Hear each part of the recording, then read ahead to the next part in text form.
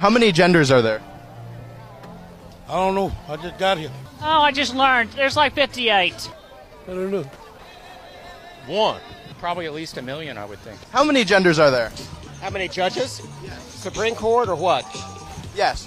Uh, Supreme Court, there are You could be male, female, transgender, whatever. All that matters is that you're comfortable in your own skin.